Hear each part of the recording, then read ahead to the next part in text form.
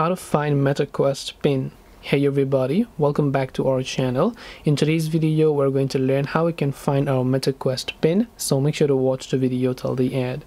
Now, if you forgot your pin of your MetaQuest account, which is your Oculus, and you want to find the pin, well, unfortunately, you can't find the pin. But what you can do is you can reset the pin if you don't remember your current pin. Now, to do this, download the MetaQuest application and log into your respective Meta account. Once you've done that, tap on the menu option from the bottom right of the screen screen then just go to this little option here that says settings.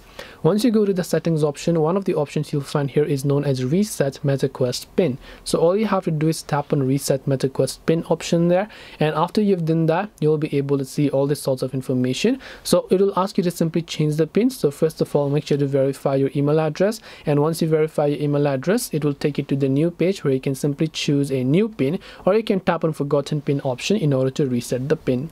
This way you can find in other words reset your MetaQuest pin because you can't really find them. Hope this video helped you. If you have got any questions, feel free to leave them down below. Thank you for watching till the very end of this tutorial and see you soon in the next video.